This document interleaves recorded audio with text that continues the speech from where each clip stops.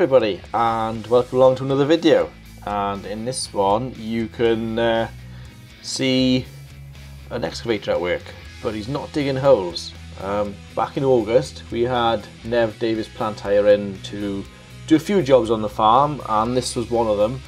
Um, initially it started out as thinning out the hedge around the garden to give us a bit more light into the garden and it then turned into removing dead ash that we didn't realise we had on the farm.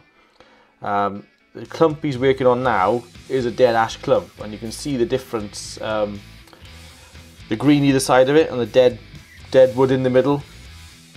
Uh, so once we sort of realised we had dead ash on the farm we said right let's go around and check everything. So we went round went round all the lanes around the yards um, and we took out anything that was sort of in a dangerous position that could sort of fall or land on us. Because you will see in a minute he grabs one little tree and literally the branches just fall off it because they've gone so brittle. Um, it's just a bit worrying really and very sad that the ash are all dying off.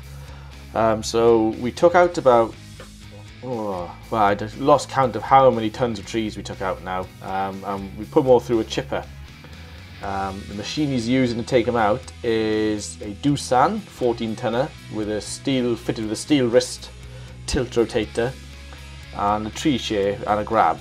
Tree shear with a grab fitted on it as well. And it makes it a very safe job because you can just see he's reaching in, grabs hold of the tree, cuts it and lays it down nice and neat and safe.